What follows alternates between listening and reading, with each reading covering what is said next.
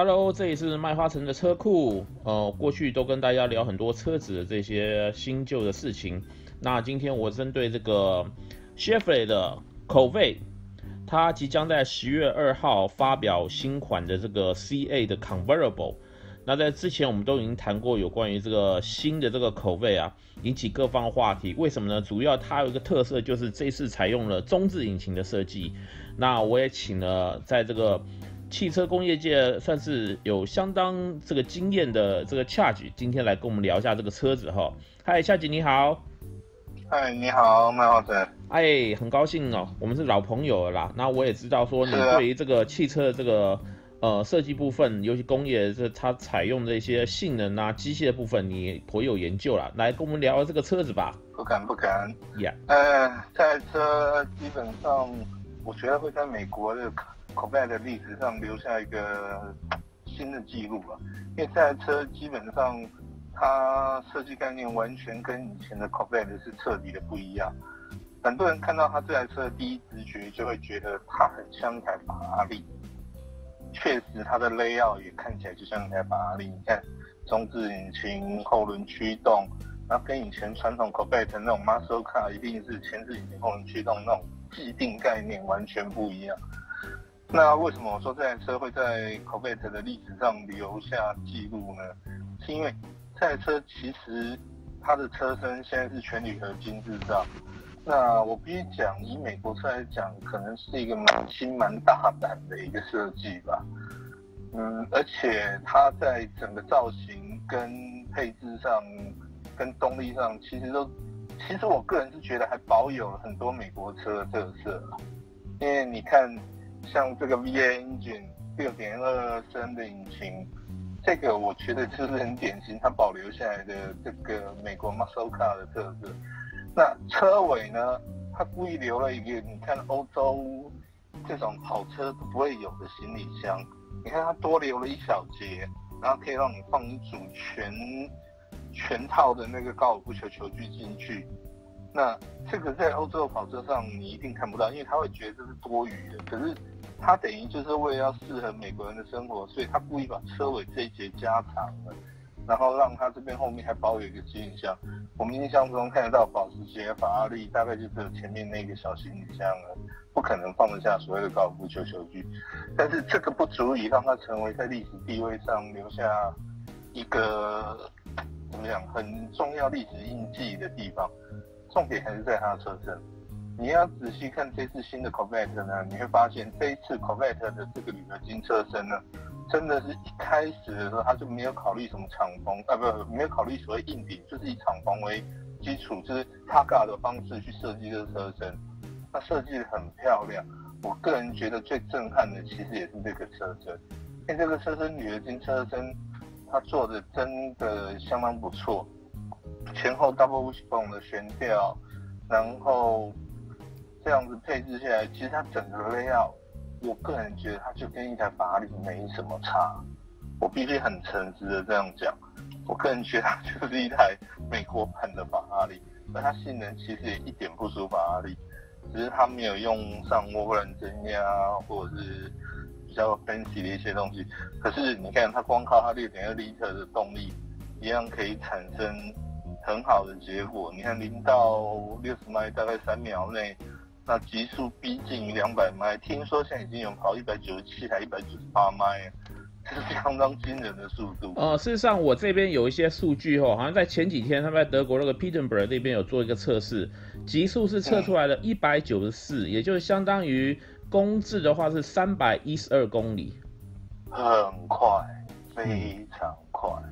那恰姐，我问你一下哈，刚刚你提了好几次这个关于说 Ferrari Ferrari 的东西，那不否认呐，在呃口碑这个美国精神号来讲，他们当然一直很希望说能够跟欧洲跑车分庭抗礼啊。不过呢，这一次他做了这么大的改变，尤其我们最讶异是说，他从传统传统，我就一九五零年代的那时候 FR 的设计，一口气现在变成了 MR 的设计。那你觉得在这方面的话？真的可以拉近他们跟所谓 Ferrari 这些超级跑车的距离吗？可以，为什么呢？因为其实所有怎么讲，这个东西跟生物一样，当你一个生物最佳化到一个程度的时候，你会看到它的结构基本上都很像，就像豹跟狮子，它的体型跟整个骨架结构都是很像。同样的，超级跑车，当你今天一定要追求所谓的极限性能的时候嘛，嗯，它的很多基本架构会是非常像。所以你可以在它的自己的网页上特别开始强调这一点，就是有一些照片就是只有四个轮胎放在角落，一缸椅子跟一个引擎那个照片，嗯，他也就在告诉车主说，这种东西的配置其实是，如果今天要追求极限过弯性能的，或者是各种操控方面性能的最佳化的设计的话，其实是会像这样的配置的。那所以照你这样讲，N 麻真的也就是所谓这个口碑，呃，追求欧洲超跑那种等级的，算是说最后一块拼图吗？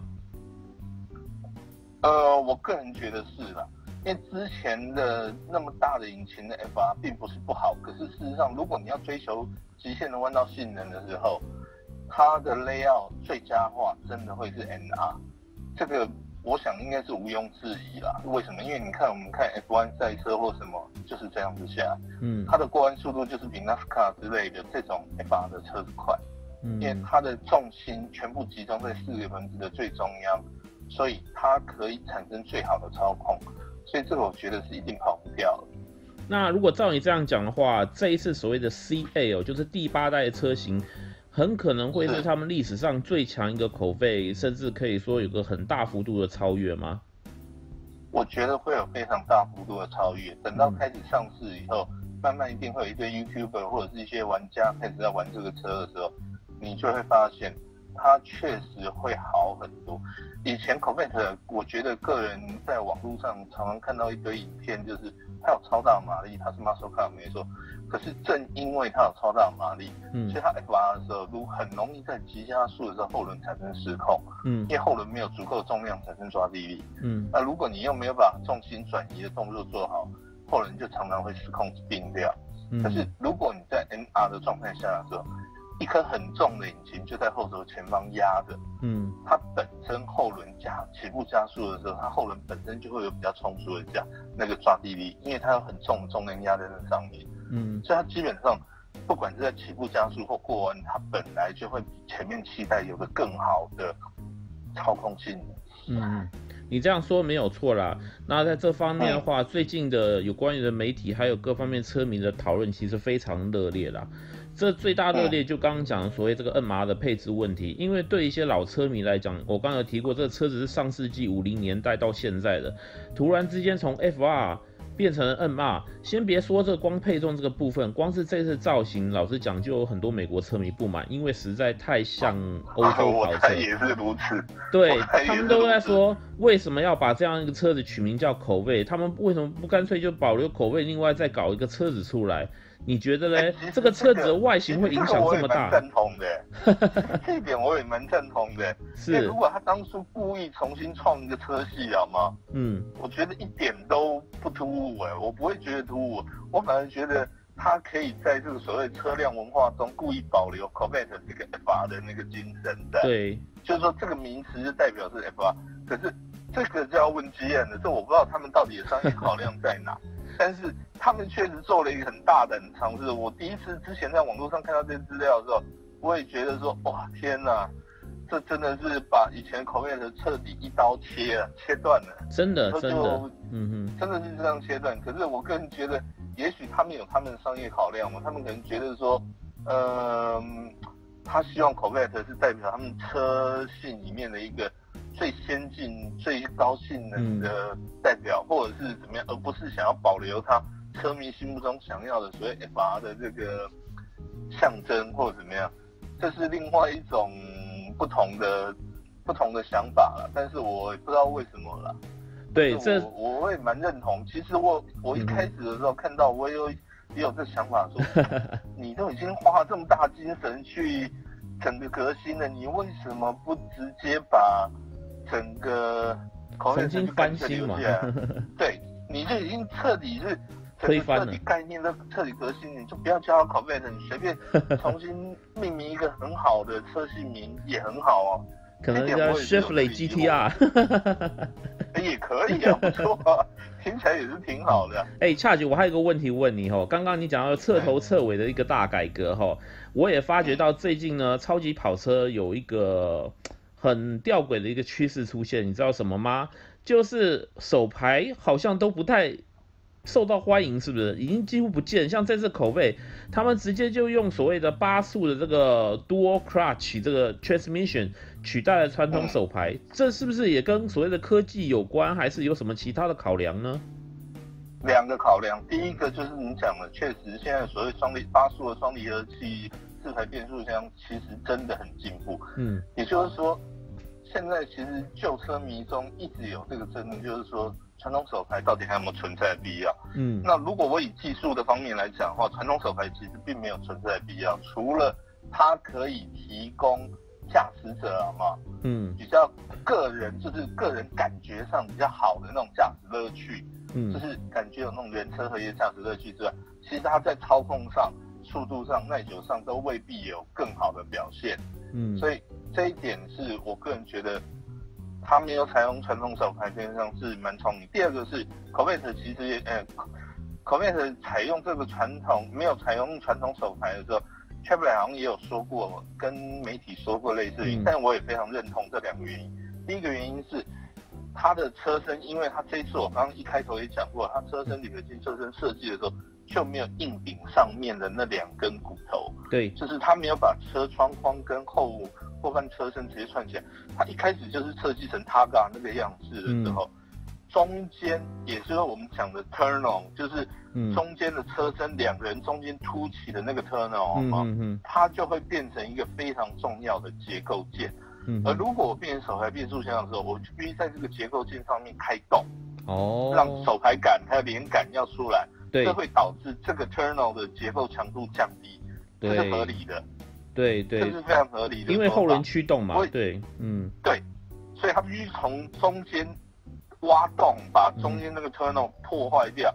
所以这个地方是非常合理的说法。第二个就是刚刚前面已经讲，因为变速箱其实已经进步到一个程度，他们真的不觉得需要为为这个东西特别再去开发一个专用的 MR 用的手排变速箱。嗯，因为以前以前前面期待会用。手排变速箱还有一个很大的优势是，其实那个手排变速箱有可能有机会是跟很多 pickup 共用哦。那么大扭力的那个 pickup FR 嘛，嗯，它那个变速箱很多手排变速箱，嗯，所以它可以留用很多这种现成，它不需要重新开发一颗，使用成本相对低很，开发成本相对低很多，嗯，那。你重新开发一个全新的 NR 变速箱，其实是非常不划算，尤其在 Corvette，其实它的销量真的是很少的状况下。对，没错。相较于 Pickup 来比的话，它的开发成本实在太高。我开发了一个全新的，但是却不能用在大量的车这种上，真的是很不划算的一件事。对，但我要你跟你这个聊这个有关于成本考量这个东西很有趣，就是说。这次呢，Chevrolet 等于是把这个口碑彻头彻尾的翻新。不过他们最有最有诚意的部分，就是说把售价呢还是压在非常的平易近人程度，五万九千九居然就可以弄到一台 N 马的超跑，你说这这实在太疯狂了吧？这 我也觉得很疯狂，但是我也觉得这真的是诚意十足。对。可是。他可能面临的唯一缺点就是他也不是缺点吧，我觉得也是一开始就想，他并没有打算打算把它推到欧洲去吧。对，这是我个人的想法。为什么？因为如果说以他现在性能，就是以他这颗六点二升配上这个铝合金车架的车重，嗯，我觉得要过 Euro Six 真的有点难啊。哦，废气排放，这是我这是我纯粹个人的看法。嗯，因为你看现在。欧欧洲真的当 sizing 用增压用到已经是不知道怎么办了。其实有很大一部分的问题就是后面的油耗真的是越来越严了。对，对。那你像这种大排量车，我现在还不知道这台到底能不能过 Euro Six。但是如果它要过 Euro Six 的话，我觉得它一定会有所谓的气缸休止功能，也就是说它在某些法规的那个跑的过程中，它会有某几缸是不做动的。它才有可能过，否则的话，它照原本的每一缸都点燃的状况下，以它这么大排气量、这么轻的车重，哇，我个人觉得他要过 Euro Six 似乎有点难。嗯，那再问一下，既然已经提到欧洲了，亚洲部分你觉得呢？是不是还有机会可以弄到亚洲去，包括台湾市场，让大家可以比攀一下、看一下这样子？呃，这个我真的觉得很难，因为这一台 你最了解了。这台我觉得真的你要过台湾的法规真的太难，嗯，除非就是故意阉割掉几个章吧。哦，my，不然的话太可惜了，太可惜了，这么好的东西。这台车我个人也非常喜欢，我也但这个车先天在台湾就是一个原罪，就是排气量非常大。嗯嗯，所以它这个光每年的牌照税、燃料税，大概就会是一个非常恐怖的事情。那倒是。可是呢，嗯，我相信爱的人还是会想尽办法把它弄进，因为我个人觉得它的性能绝对不会，不管是加速性能、操控性，绝对不会输给法拉利。嗯，哇，听起来实在太……因为我现在看到雷奥，我真的不觉得他会输给法拉利。嗯嗯嗯，我相信他们也做了相当多的测试啊，包括他们现在车子是放在德国那边一一路在测试，相信结果是不会让大家失望的。我也很期待十月二号他们要推出的这个 convertible 的版本，嗯，可能到时候也。又会再掀起一场这种市场的那个呃炒作的风波吧？哎，Charge，谢谢你啊，今天很高兴跟你聊这个东西。不会，不会。我觉得说呀，以后我们再多多聊一下，因为我觉得你肚子里面有一大堆的东西可以挖出来，让我们分享一下，好吗？呃，尽量尽量，好吗？好，好，那我们今天节目就到这里喽，谢谢你哈，谢谢。好，不会，谢谢，拜拜，拜拜。